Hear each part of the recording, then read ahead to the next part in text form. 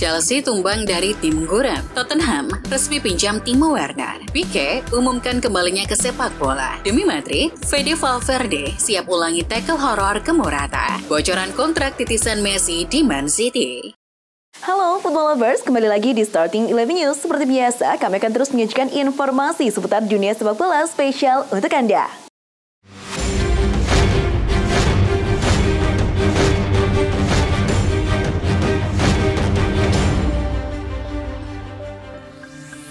Klub raksasa Inggris Chelsea harus mengakui ketangguhan Middlesbrough dalam laga leg pertama semifinal Carabao Cup 2023-24 yang digelar di Riverside Stadium Rabu 10 Januari dini hari waktu Indonesia Barat. Gol kemenangan Boro dicetak oleh Hayden Hackney di babak pertama. Chelsea bakal gantian menjamu di Borough sekitar dua minggu berselang. Dari ajang Coppa Italia, runner-up musim lalu Fiorentina berhasil mencapai babak semifinal 2023-24 setelah memenangi adu penalti pada babak perempat final atas Bolonya, Rabu 10 Januari dini hari waktu Indonesia Barat. Maxim Lopez menjadi algojo penalti yang menentukan, membawa Fiorentina menang 5-4 dalam adu tos-tosan setelah laga berakhir tanpa gol di Florence. Di semifinal, Fiorentina akan menunggu pemenang AC Milan atau Atlanta. Timnas Indonesia harus mengakui kehebatan timnas Iran. Skuad Garuda takluk 0-5 dari Iran dalam laga uji coba terakhir jelang Piala Asia 2023 di Al Rayyan Training Site Qatar Selasa 9 Januari malam WIB. Iran mencetak 3 gol di babak pertama, lalu menambah 2 gol lagi di babak kedua. Hasil ini membuat Jordi Amat dan kawan-kawan selalu menelan kekalahan dari tiga laga uji coba di bulan ini. Next, tim arahan Sintayong akan meladeni Irak di laga pertama babak penyisian grup Piala Asia 2023 15 Januari mendatang.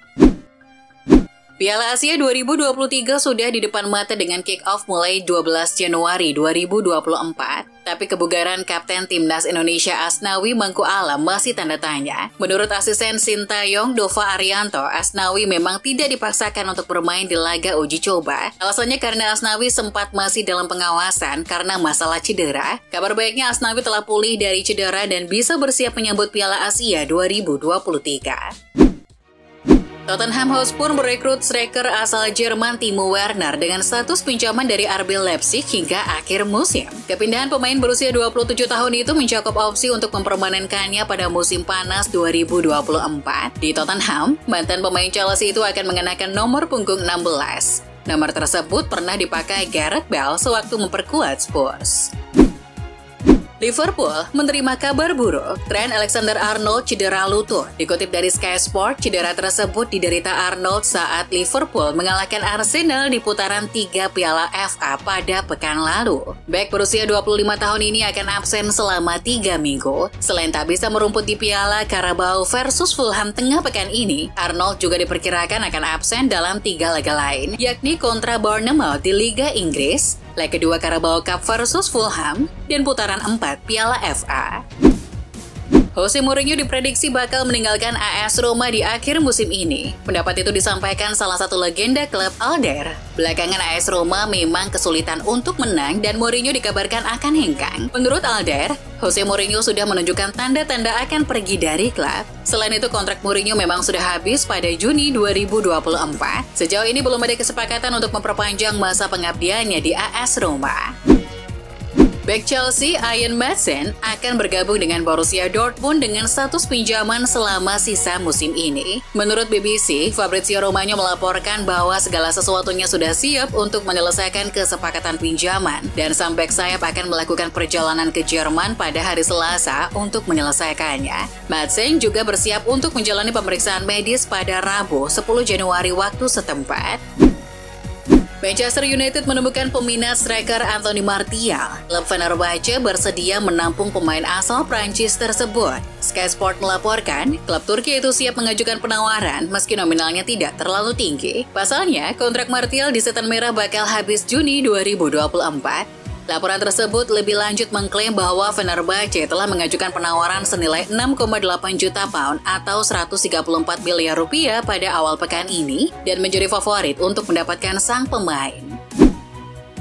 Arsenal mau menambah kekuatan di lini tengah. Pemain Everton, Amado Onana, kabarnya masuk dalam daftar buruannya. Onana masih terikat kontrak bersama Everton sampai musim panas 2027. Harga pasarannya kini ada di angka 50 juta euro atau setara 850 miliar rupiah. Pemain berpaspor Belgia itu punya tinggi 1,9 meter yang membuat Onana kuat dalam berduel udara. Dirinya sudah bermain sebanyak 49 kali di Liga Inggris sejauh ini bersama The Toffees. Gerard Pique kembali ke sepak bola setelah pensiun pada November 2022 silam. Di akun resmi X-nya, Pique mengumumkan bahwa ia akan kembali ke dunia sepak bola sebagai pelatih. Dia tidak memberikan petunjuk tim apa yang akan dia ikuti. Meskipun dia menyatakan bahwa informasi lebih lanjut akan segera hadir, rumor yang berkembang sejauh ini, Pique bisa kembali ke Barca atau bisa juga melatih FC Andorra, tim Segunda Division di mana dia adalah pemiliknya. Joao Felix awalnya sempat mencuri hati Barcelona, tapi perlahan malah meredup. Kini malah muncul rumor kalau klub Katalan enggan mempermanenkannya. Penyerang 24 tahun itu diketahui dipatok dengan harga tinggi oleh Atletico, yakni sebesar 80 juta euro atau setara 1,3 triliun rupiah. Barca tentu harus cermat dalam mengeluarkan uang untuk membeli pemain. Selain Joao Felix, Joao Cancelo diberitakan lebih realistis untuk dipermanenkan Barca dari Manchester City. Mark Andre Ter Stegen menjalani operasi punggung pada awal Desember. Dia diperkirakan akan melewatkan setidaknya dua bulan beraksi untuk Barcelona. Namun Football Espanya melaporkan bahwa Ter Stegen sebenarnya pulih lebih cepat dari perkiraan dan bisa kembali beraksi pada akhir bulan ini. Rencananya saat ini Ter Stegen akan kembali berlatih pada akhir Januari atau awal Februari dan berpotensi kembali melawan Alaves atau Granada. Real Madrid dan Atletico Madrid akan saling bentrok di babak semifinal Piala Super Spanyol 2023-24 Kamis pukul 2 dini hari WIB. Gelandang Real Madrid Federico Valverde mengaku sudah tidak sabar untuk melakoni duel tersebut. Valverde mengaku tak keberatan kembali mengulangi tackle horornya kepada Alvaro Morata jika memang dibutuhkan Real Madrid untuk meraih kemenangan atas Los Rey Blancos di Piala Super Spanyol. Piala Super Spanyol akan dimulai lagi minggu ini dan sekali lagi dengan format empat besar akan digelar di ibu kota Arab Saudi Riyadh. Ini bukan kali pertama Piala Super Spanyol diadakan di Arab Saudi. Tercatat sejak musim 2019-20 digelar di sana. Piala Super Spanyol digelar di Arab Saudi karena kesepakatan yang dijalin negara itu dengan pihak RFIF Pemerintah Arab Saudi disebut menjalin kesepakatan dengan RFIF senilai 30 juta euro atau sekitar 492,6 miliar rupiah per edisi hingga 2029 untuk menggelar Piala Super Spanyol. Belakangan mulai muncul bocoran mengenai detail kepindahan Echeverry ke Manchester City. Dalam kontrak penjualan Echeverry ke City, terdapat klausul yang memungkinkan River Plate untuk menerima bonus. Menurut laporan Clarin, River Plate akan menerima 500 ribu euro atau setara 8,5 miliar rupiah dari City setiap si bocah ajaib memainkan 8 laga selama menjalani masa pinjaman di Estadio Monumental. Selain itu nantinya, setiap gelandang berusia 18 tahun itu mencatatkan 10 penampilan buat The Citizen, River Plate berhak atas 1 juta euro atau setara 16,9 miliar rupiah. Renato Sanchez makin dekat dengan pintu keluar lebih awal dari AS Roma. Karena menurut laporan Football Italia, klub induknya Paris Saint-Germain telah menerima permintaan informasi mengenai situasinya saat ini dari klub Super League Turki Besiktas. PSG dan Besiktas kini dikabarkan sedang mendiskusikan kemungkinan kesepakatan pinjaman hingga akhir musim. Sanchez sendiri kurang mendapatkan jam menit bermain selama main di Roma. Jadi ada kemungkinan besar ia bakal pindah klub. Langkah Manchester United untuk merekrut Jared Brandwaite semakin berat. Pasalnya, Real Madrid berminat untuk merekrut sang back dari Everton. Menurut laporan Daily Mail, Real Madrid memutuskan untuk memboyong Brandwaite untuk memperkuat lini pertahanan mereka. Stok back tengah Los Blancos saat ini cukup terbatas. Sementara beberapa back tengah mereka sudah cukup berumur. Namun laporan yang sama mengklaim bahwa Real Madrid baru akan mencoba merekrut Brandwaite di musim panas nanti.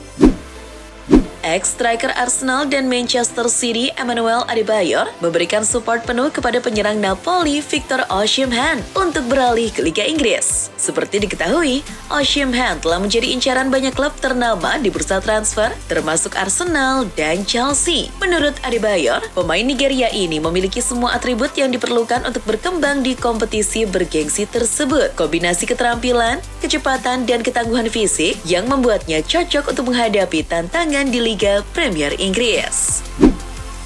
Kabar mengejutkan datang dari Arsenal. Klub berjuluk meriam London seperti dikabarkan Tribal Football tertarik untuk merekrut Mark Cucurella dari Chelsea. Bek kiri yang juga bisa bermain di bek tengah sedang tersingkir di Chelsea. Cucurella sering tampil musim ini, namun klub dengan senang hati menjualnya dengan harga yang wajar. Bos The Gunners, Mikel Arteta mungkin merasa dia bisa mendapatkan lebih banyak manfaat dari pemain Spanyol itu daripada yang bisa dilakukan Chelsea. Belum lama ini muncul rumor yang menyebutkan bahwa Facundo Pellistri akan hengkang dari Manchester United. Tak lama kemudian, menurut kabar dari Goal, sang pemain kabarnya ditawari bermain di LA Galaxy. Tertarikan LA Galaxy terbilang serius. Pasalnya, proposal tawaran yang hendak diajukan ke MU adalah pembelian secara permanen. Sampai saat ini, belum ada informasi lanjutan mengenai rumor tersebut. Setan Merah belum memberikan bandrol harga untuk Pellistri. Gelandang RB Leipzig yang pernah main di Barcelona, Alex Moriba, telah resmi dipinjamkan ke klub La Liga Getafe CF mulai musim dingin Januari kali ini hingga akhir musim 2023-2024 mendatang. Kepindahannya ke Spanyol mengakhiri negosiasi panjang antara Getafe dan Leipzig mengenai transfernya. Menurut informasi di laman Gol, Getafe CF akan menanggung seluruh upah Alex Moriba. De Bruyne menghabiskan hampir lima bulan di ruang perawatan setelah mengalami cedera hamstring pada hari pembukaan musim Premier League, namun kembali tampil gemilang dengan memberikan assist dalam kemenangan telak CD 5-0 atas Huddersfield di Piala FA. Setelah pertandingan, ia mengungkapkan apa yang dia lakukan saat masa-masa menjalani masa pemulihan. De Bruyne mengungkapkan bahwa dia menghabiskan sebagian besar waktunya sebagai sopir taksi untuk anak-anaknya. Ivan Toni masih menjalani hukuman skorsing akibat skandal perjudian hingga 17 Januari mendatang. Ia kini mengaku sudah tidak sabar ingin segera kembali merumput. Toni berharap bisa langsung tancap gas dan mendapatkan tempat kembali di skuad timnas Inggris. Tentu saja saya butuh kerja keras dan dedikasi besar untuk bisa kembali ke tim nasional. Tapi itu merupakan tujuan utama saya dan kembali masuk skuad tim nasional merupakan pencapaian luar biasa, ucapnya. AC Milan ingin mengontrak Alex Jimenez secara permanen dari Real Madrid. Mereka berupaya untuk mencapai kesepakatan yang lebih baik untuk back sayap kiri tersebut. Milan berharap bisa mencapai kesepakatan awalnya dengan harga kurang dari 5 juta euro. Dengan kesepakatan tersebut sangat disarankan pada bonus di masa depan. Sementara itu, Jimenez senang bertahan di Milan. Dia merasa puas dan melihat masa depannya bersama Rossoneri. Oliver Giroud mencetak satu gol saat AC Milan membungkam Empoli dengan skor 3-0 di ajang Serie A akhir pekan lalu. Gol ini menjadi yang ke-10 bagi Giroud musim ini. Tambahan satu gol ini juga bikin Giroud cetak rekor unik. Ini menjadi musim ke-14 secara beruntun di mana Giroud mencetak setidaknya 10 gol lintas kompetisi klub terbanyak dibandingkan pemain lima besar Liga Eropa mana pun semenjak 2010-2011. Itulah informasi seputar dunia sepak bola spesial dari Starting Eleven News. Jangan lupa untuk like, share, dan subscribe. See ya!